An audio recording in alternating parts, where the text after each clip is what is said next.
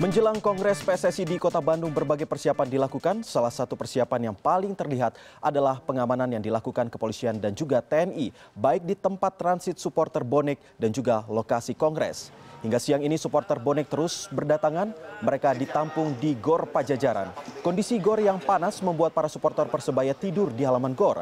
Mereka datang ke Bandung untuk mendukung Persebaya agar diterima menjadi anggota PSSI. Guna menjaga keamanan, Polda Jawa Barat bersama dengan Polres Tabes Bandung dibantu TNI menurunkan tim gabungan sebanyak 1.800 anggota.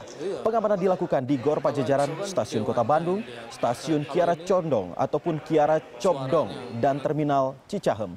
Selain mengamankan masa supporter bonek, polisi juga mengamankan lokasi kongres di Hotel Arya Duta. Kongres PSSI baru akan dilaksanakan minggu pagi. Sementara itu menjelang Kongres Tahunan PSSI di Bandung, Jawa Barat, ratusan pendukung Persebaya Surabaya atau Bonek berangkat ke Bandung. Sementara itu untuk mengamankan Kongres PSSI, Polda Jawa Barat akan menerjunkan ribuan personel gabungan polisi dan juga TNI. Setidaknya 300 bonek memadati stasiun Gubeng, Surabaya, Jawa Timur. Mereka akan berangkat ke Bandung untuk mengawal jalannya Kongres Tahunan PSSI pada minggu mendatang. Bonek juga berangkat dari stasiun Monokromo, Sepanjang, dan Jombang. Polisi akan mengawal perjalanan bonek menuju Bandung. Sementara itu pada Jumat malam di Jalan Demak, Surabaya, setidaknya 500 bonek berangkat dari Surabaya menggunakan 6 bis yang disewa menuju Bandung. Para pendukung Persibaya ini nantinya akan berkumpul dengan bonek lain yang sebelumnya sudah tiba di Bandung.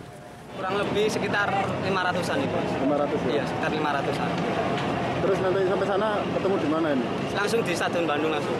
Kongres. Lokasi kongres ya? Iya. Terus Berapa? rencananya ngapain mas di sana mas? Kita mengawal mengawal apa itu Persebaya. Selain di Stadion Gelora Bandung Lautan Api, para supporter Persibaya ini ditempatkan di Gor Pajajaran dan Lodaya Bandung. Adapun untuk mengamankan jalannya Kongres Tahunan PSSI, Polisi Daerah Jawa Barat akan menerjunkan ribuan personil gabungan. Pengamanan berlapis siap dilakukan di sekitar lokasi pelaksanaan Kongres. Si Kongres PSSI ada 1.558 kekuatan yang kita siapkan pengamanan bersama dengan teman-teman eh, TNI dan eh, stakeholder yang lain. Yang kita tempatkan di beberapa tempat termasuk yang utama adalah di Hotel Arya Duta. Juga kita siapkan pengamanan kekuatan untuk mengamankan mengisolir eh, teman-teman bonek. Prinsipnya bahwa tidak ada satupun dari eh, rekan-rekan bonek nanti akan mendekati area duta. Mulyantoro Rahmadi, CNN Indonesia.